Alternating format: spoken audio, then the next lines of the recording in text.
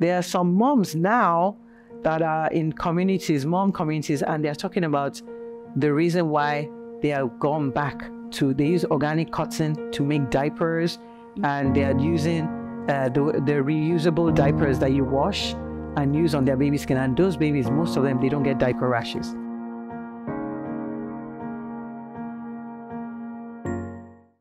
Okay, hello everyone, and welcome to Pediatrics to Go. I remain Francisca, your co-host, and with me here, your trusted pediatrician, Dr. Ekuase Sanusi. So she, today she's going to be talking about the common reasons for diaper rashes in babies. Thank you, Francisca. So we're going to talk about diaper rashes today because that's a common reason we see um, babies. Uh, that's a common complaint we see in babies.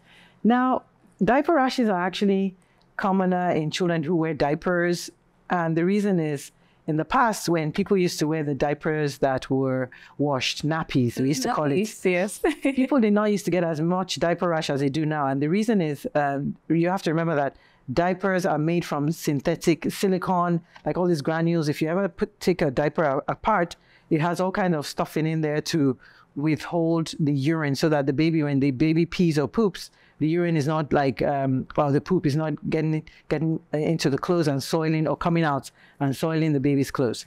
Now all those chemicals can actually cause irritation of the baby's um, skin especially if the diaper is not changed as frequently as it should. When babies have diarrhea the diarrhea sometimes is kind of acidic and it burns the, baby's uh, diaper area. And that's another reason why we see a lot of diaper rashes. But sometimes even just um, what you're using to clean the baby's uh, the wipes. Sometimes babies might have sensitive skin. Use certain wipes, you can have a rash, and some children react to certain types of diapers. Like um, some children, when they were using a certain diaper, and then they had to change because it wasn't in the market, and they started using a new diaper. Mm-hmm. There's something in that in the chemical components of the um, diaper filling that they might react to. So that's one another reason that we see a lot of diaper rashes. Now, when children are on antibiotics, antibiotics, remember, kills uh, bacteria. When children have antibiotics, it takes it kills all the good bacteria on the skin. We have good bacteria living on our skin. It's in symbiosis, uh, basically in harmony with our skin. So when an antibiotic is given, it kills the good bacteria and it gives the yeast in the skin a lot of space to grow.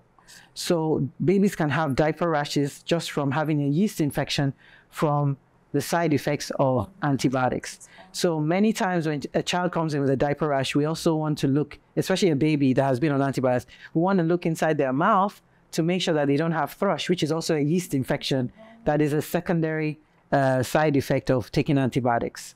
So if your baby has a diaper rash, always look in the mouth. You might see like white patches in the mouth, um, which is uh, what we call oral thrush. Because oral thrush can be, start in the mouth, go all the way on the inside of the baby's intestines and come out in the diaper area, and then the baby will have a diaper rash, which is usually red and flat, sometimes bumpy, but usually it's quite irritated for for the baby. Like a scar, like a peeling of. Yeah, sometimes the baby's skin peels. Now, newborn babies, when they're born, you know, they're like peeing and pooping a lot. Mm-hmm. So you're changing them more frequently. Sometimes a newborn baby, especially if you're, they're breastfed, they might poop like five to 10 times a day.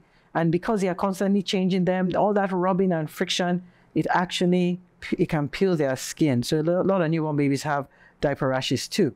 So what we usually recommend is barrier creams and ointments. Personally, I like A and D ointment, which is um, castor oil with vitamin A and D in it.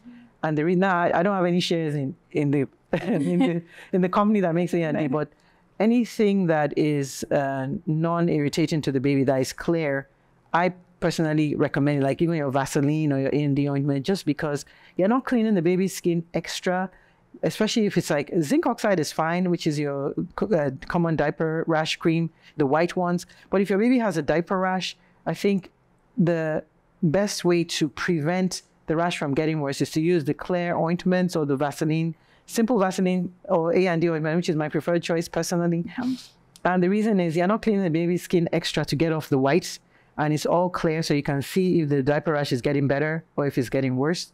And then airing out the, the skin so that at least, you know, take the diaper off and give the baby's um, butt some air so that the diaper, uh, the skin of the diaper can basically heal on its own.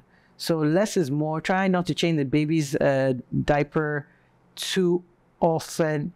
Well, you want to not put the diaper on in the first place. And then if you need to clean the baby, rinse the wipes first and then clean the diaper area. So that way you're cleaning more with uh, water wipes rather than the chemicals that go on the wipes. So just opening up the skin, airing the skin out as much as possible, minimizing, changing, and uh, cleaning too often. What, because if they are not wearing the diapers, they are not really changing. So, and then um, just making sure that you're using a barrier cream and a lot of Vaseline or A&D ointment. And anytime they pee or poop, their skin is not irritated anymore. And most times babies do well. I also get, I also recommend to get cotton balls and just use water to clean the baby instead of wipes because that those cotton balls are milder on the skin and it helps. If the child has been on antibiotics and has a yeast infection, then we do the uh, over-the-counter. Or actually, we do prescription uh, yeast medicine. We have your popular nystatin or uh, some countries they use Lotrimin. But either way, you want to go ahead and see your doctor, and they'll prescribe what they think is best for your baby.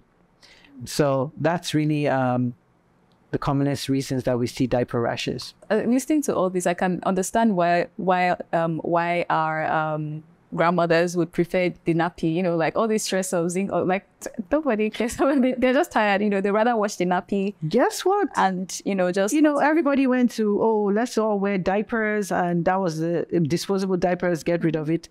There are some moms now that are in communities, mom communities, and they're talking about the reason why they have gone back to, they use organic cotton to make diapers, and they're using uh, the, the reusable diapers that you wash and use on their baby skin. And those babies, most of them, they don't get diaper rashes.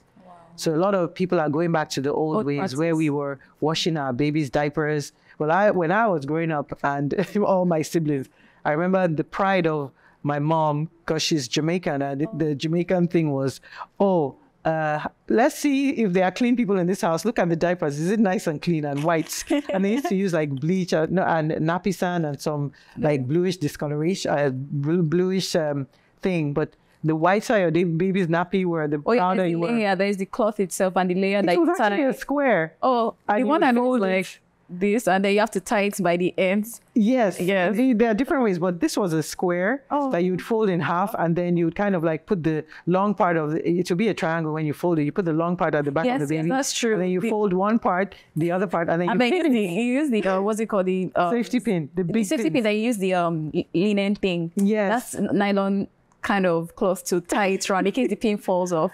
Well, I yeah, do that. yeah. So, uh, so now some moms are going back to that, Oh, wow. and they're they're very excited because it's like I save money. I'm not buying diapers all the time, Mm-hmm. and then my baby doesn't get a diaper rash, and we're using organic cotton Mm-hmm. for the baby. And a lot of those babies, guess what? They don't get diaper rashes. Oh, thank you so much.